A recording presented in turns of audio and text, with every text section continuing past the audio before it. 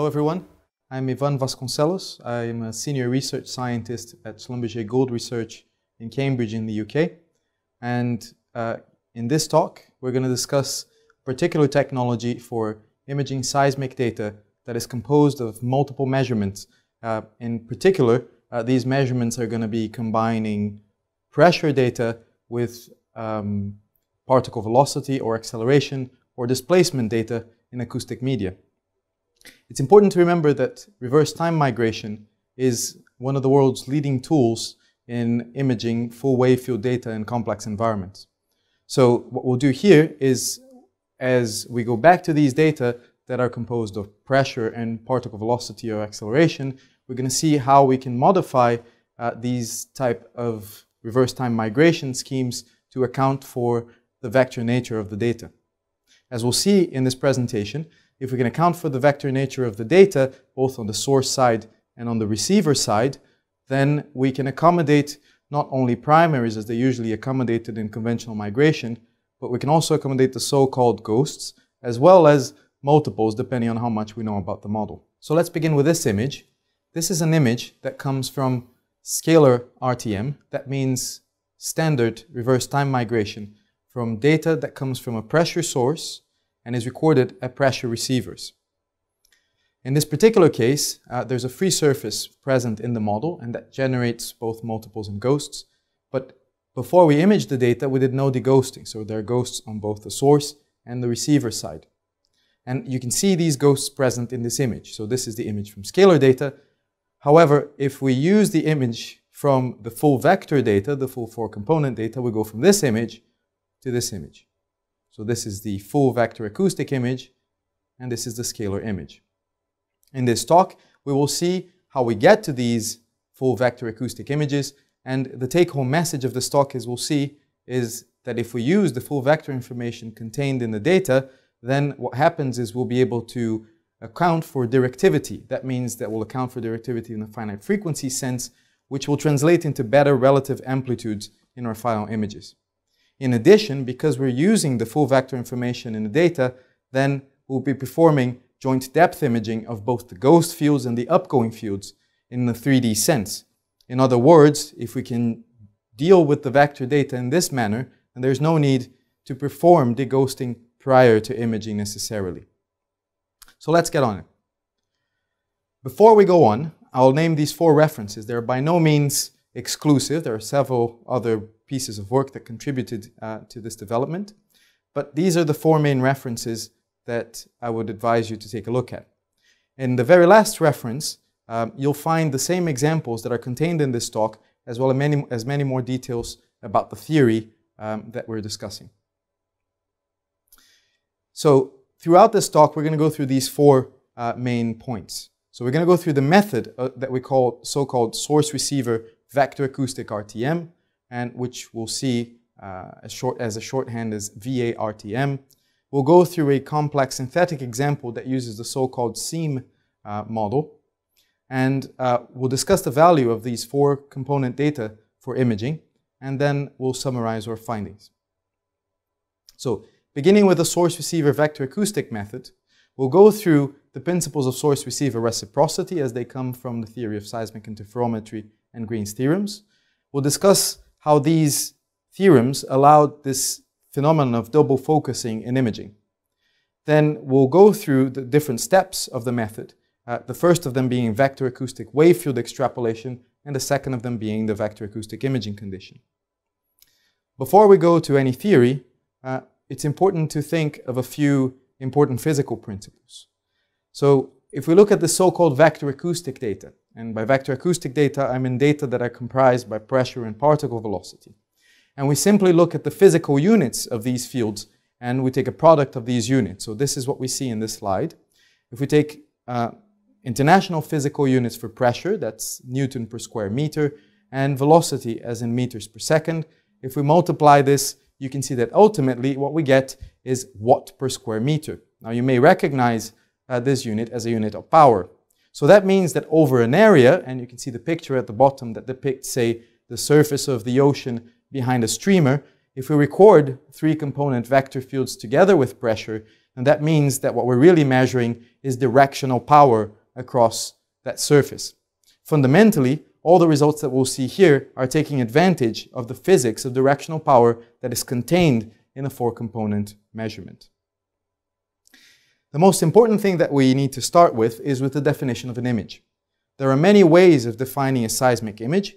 In this particular case, we're choosing the definition based on scattered fields. So if you look at this picture and pretend that this is the subsurface, imagine that we have um, velocity varying, that's say the white part of the slide, and then we have discontinuities which are indicated by the gray lines that say represent scatterers or reflector interfaces. What we'll do is we'll define an image as the scattered field as zero offset and zero time everywhere inside of the image. This is as if we could put sources and receivers inside of the image at every point. If we make this definition, then it's clear that if we have a point that sits on an interface as indicated by the red field triangle, that this contribution will be finite as zero offset at zero time. And everywhere else that is away from a scatterer or an interface, then the contribution will tend to zero, and therefore this is a good measure of an image. Moreover, the scattered field, this local scattered field, is proportional to the local jump in medium parameters. So not only is it representative of a structure, it's also representative of an actual quantitative jump in medium properties. Therefore, it is a suitable choice for an image. Do keep in mind that there are other choices, such as those based on the adjoint state method or least squares migration, but those are not the ones that we're discussing today. Now, based on this definition, we can choose to create the image from boundary data because, of course, we have not measured sources and receivers inside of the subsurface.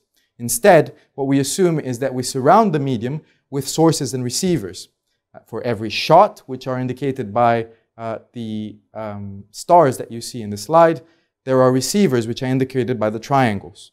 Of course, in practice, we can't surround the Earth with sources and receivers, so for the purpose of this talk, all of the examples will come from flat surfaces of sources and receivers that are above our target of interest. For more details, you can look at the references that you see in the slide to see what the effect of truncating these the surfaces um, have on imaging.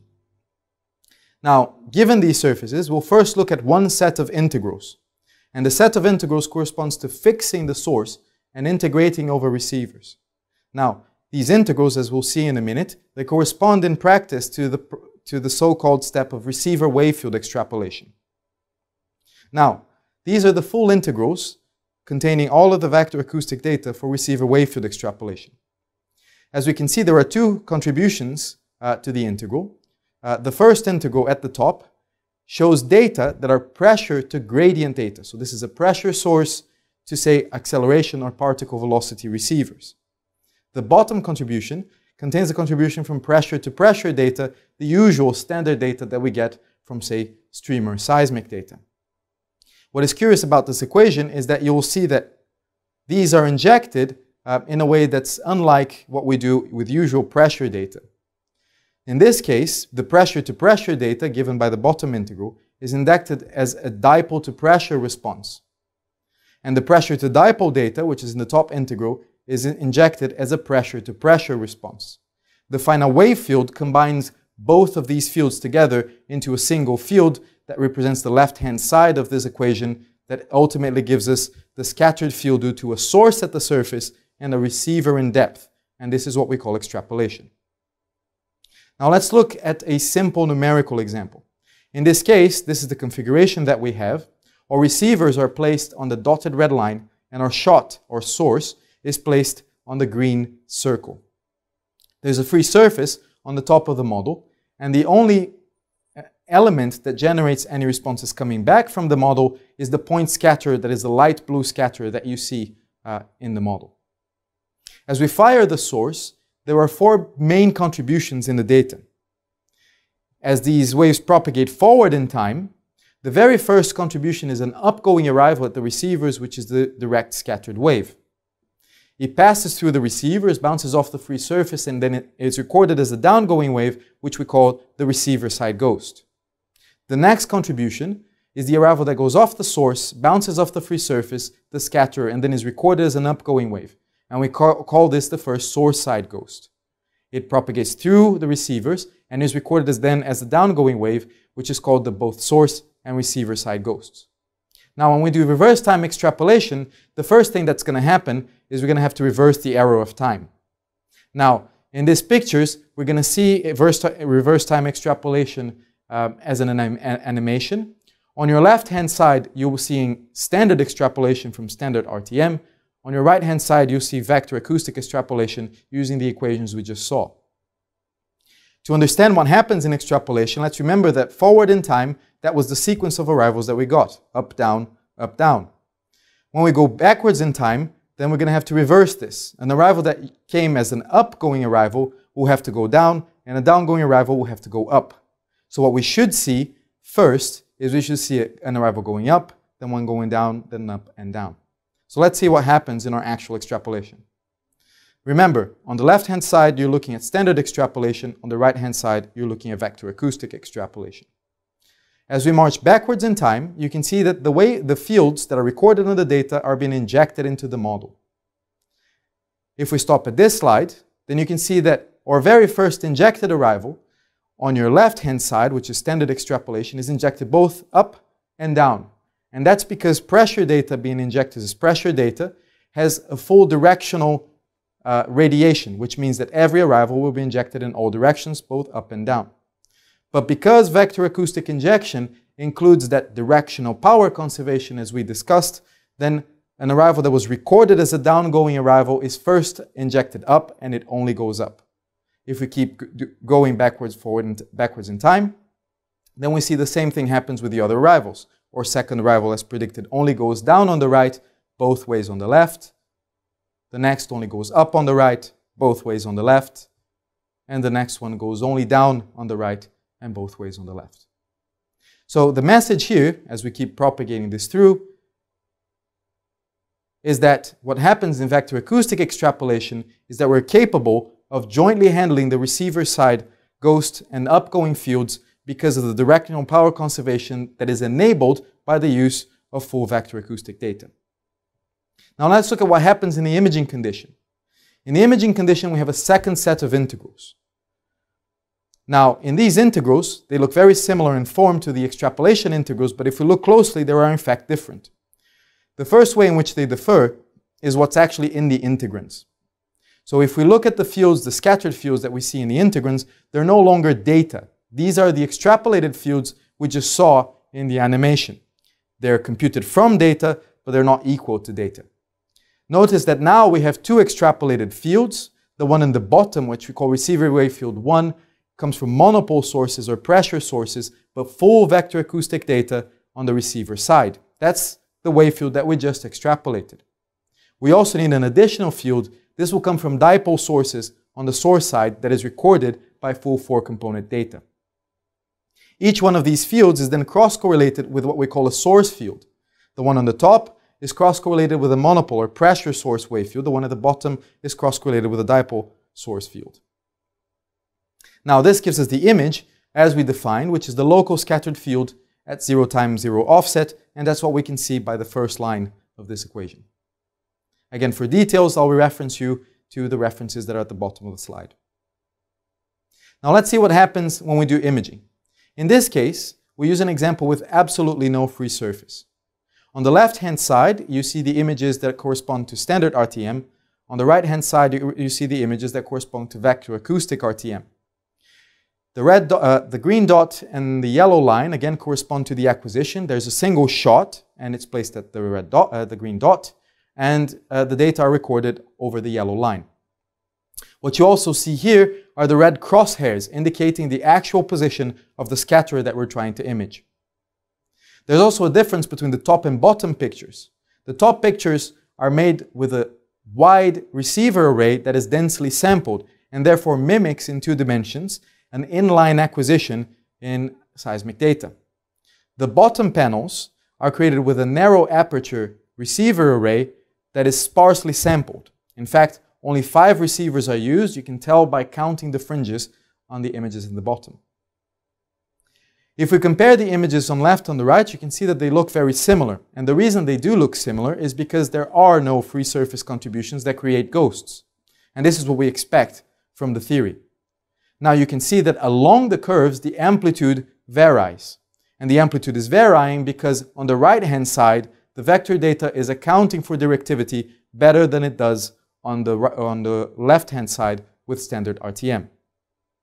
If we put the free surface back on, then we get these images. In this case, the data had the free surface, but we didn't use the free surface in imaging. What this gives us is a proper imaging of the upgoing arrivals. Now, if you look on the left, you can see that there are several artifacts that are not related to the scatterer.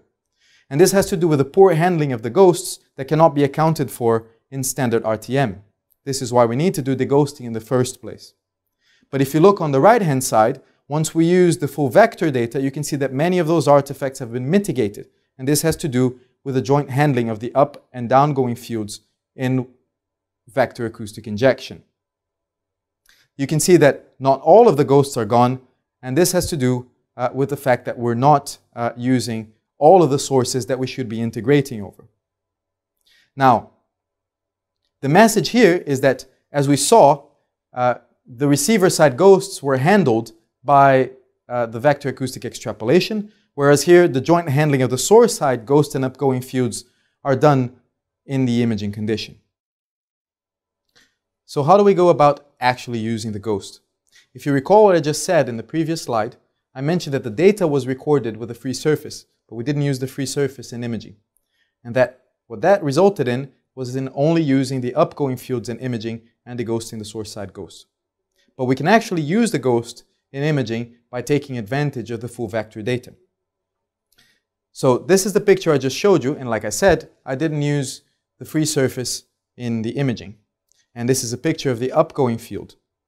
Now, we can do the same for the ghost. And this is an image of the ghost. If I flip backwards and forwards, you can see that there's a substantial difference between imaging the upgoing fields and imaging the ghost. Again, if we compare the left-hand side plots with the right-hand side plots, you can see that vector acoustic imaging does a far better job in mitigating the artifacts that are related uh, to the ghosts. Most importantly, if you look on the lower right-hand side corner, right at the crosshairs, then you see that there's a slight slope to where the scatter is supposed to be. Now that slope is different between the ghost and the upgoing field. Again, this is the upgoing field and the ghost.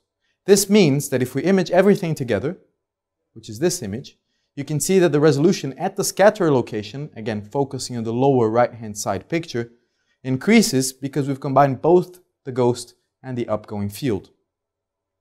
This is a big advantage that can be brought on by properly handling uh, these vector fields together with pressure data. You can see on the left-hand side of this picture that if we try to image everything together from usual RTM, uh, we'll struggle, especially in the bottom case where the data are sparsely sampled with a narrow aperture array. Now, this example is a synthetic, highly idealized example where the geometry of the acquisition allows for such a gain in resolution, and this might not always be possible with field data. But it does say that we might be able to design our surveys in a way to take advantage of such phenomena. The takeaway message in any case is that in some cases, by combining the ghost and upgoing fields, the image aperture increases and therefore the resolution of the image increases. So now let's look at a different thing. We'll move on and, and we'll look at a more complicated example. This is the example that I showed you to begin with. So we'll look at the SEAM example where we'll discuss the role of dual fields for both sources and receivers, imaging using the ghost and upgoing fields. We'll also discuss another aspect, which is using the internal multiples in the model depending on what we, what we know about the model. So this is the SEAM uh, portion of the data that we're using. It's a subset of one of the inlines in 2D. Uh, the number of the inline is at the top. Uh, we used several sources. Uh, these are spaced at 150 meters and they're placed at 40 meters depth. Uh, the wavelet used for modeling is a 20 hertz centered Ricker wavelet. The receivers are spaced at 10 meters. Their spread is fixed and they're placed at 75 meters depth. This model is the model where the data is actually generated with all of the interfaces. This is the model that we use for migration, where you can see the salt is kept, but the sediments are smoothed. as it is common practice in most migration routines.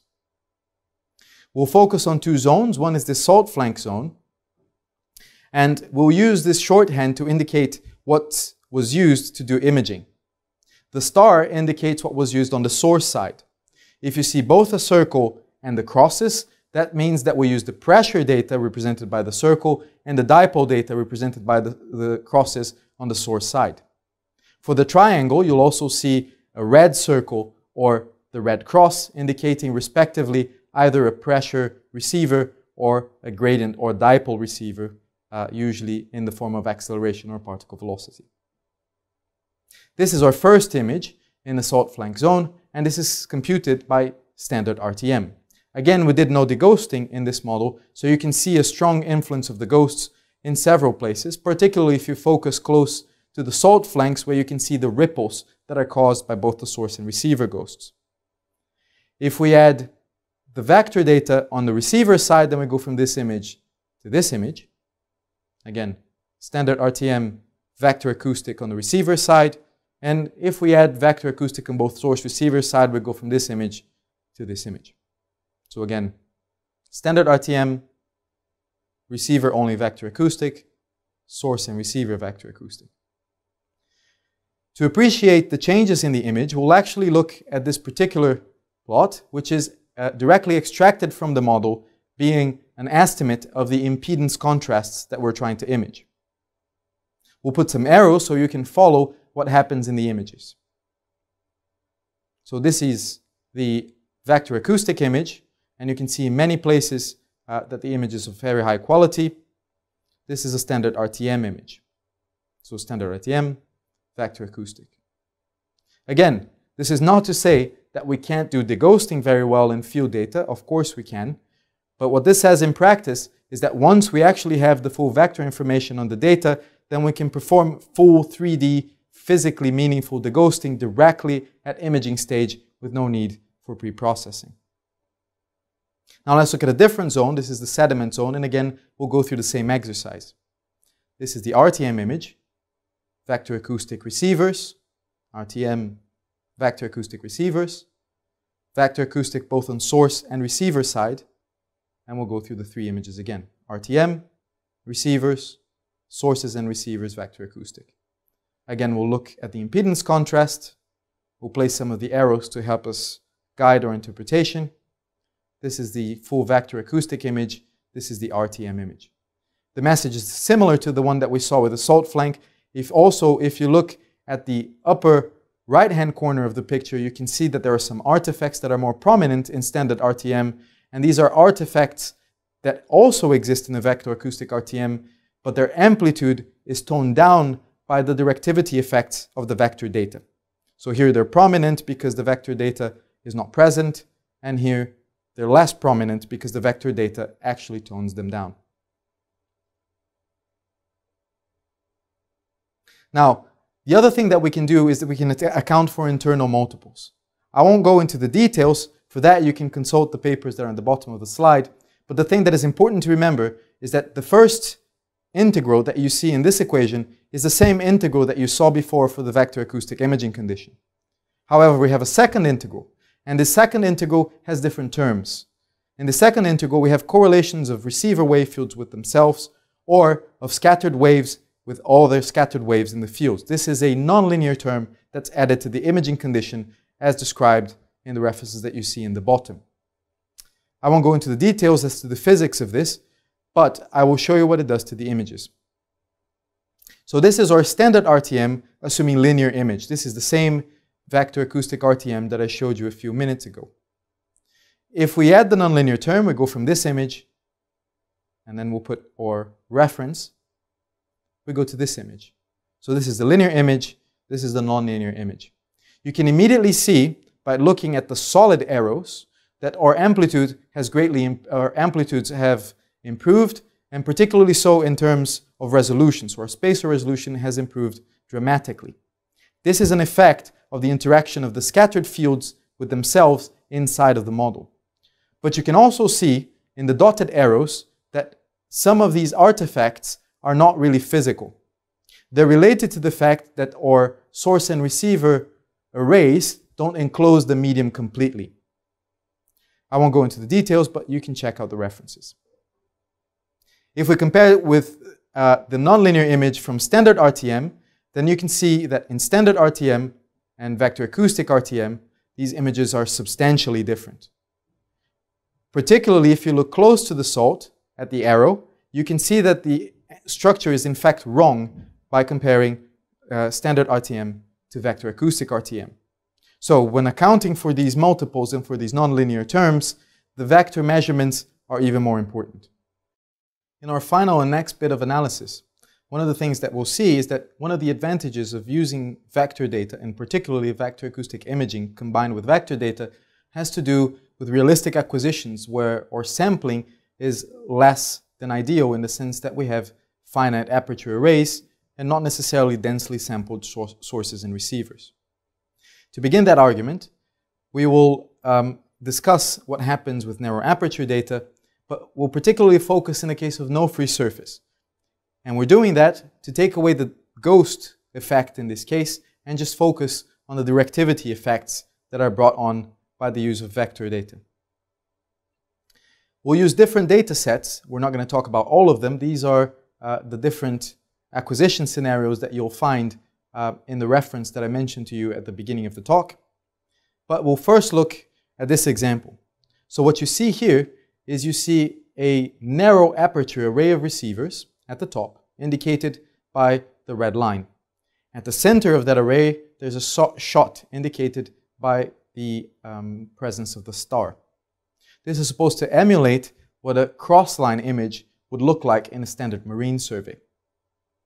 Now, what you can see in here is that you see prominent artifacts that are common in RTM, and this is before any artifact filtering.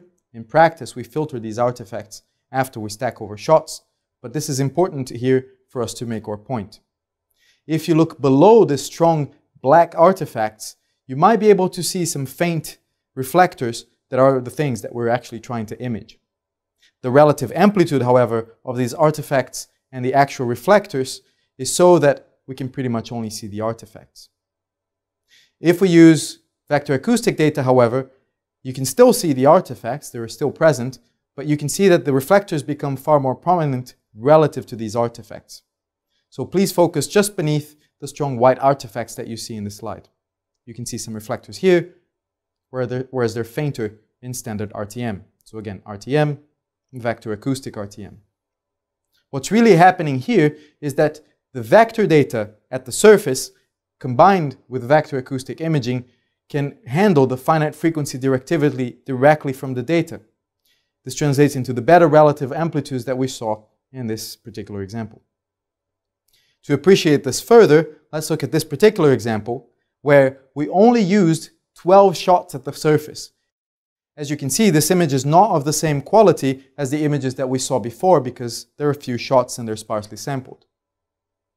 But the important thing here is to notice that these amplitudes that you see, the relative amplitudes between the reflectors and um, the artifacts get worse if we had not used uh, vector data. So this is the vector data, and this is standard RTM. And you can see that this image is dominated by the artifacts, whereas this image has a better amplitude weighting of the artifacts relative to the signal that we're trying to recover from the reflectors.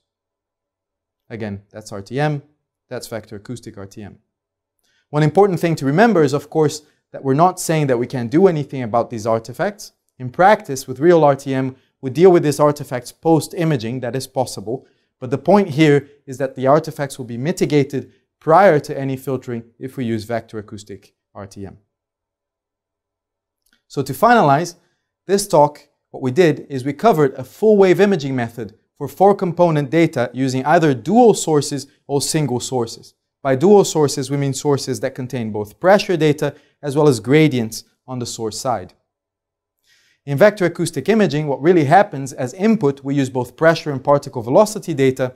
These can be either the total pressure and particle velocity data or, practical, or pressure and particle velocity data after wave field separation, in which case they correspond to up and down going fields.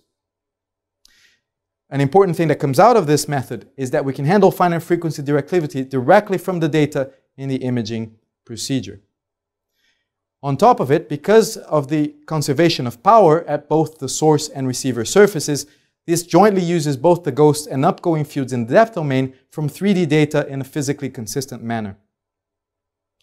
As we saw as well, if we want to try to account for multiples by adding the nonlinear imaging condition to the data, then the gradient data is even far more important in weighting those contributions appropriately. One of the offshoots of this kind of imaging is that we can now think of custom designed acquisition. Deep towing then becomes more attractive because we can design an acquisition where the ghost data looks different from the upgoing data and therefore take advantage of both of these fields in vector acoustic imaging. Another thing we could do is we can design variable depth acquisition, both in inline and crossline geometries, to try to maximize the resolution power using both up and down going fields. Finally, I'll thank you for your attention and I'll thank you these individual and I'll thank these individuals and Schlumberger for the opportunity to come and talk to you about this today. I hope you've enjoyed this talk and I hope you get to think about this afterwards at home. Thank you.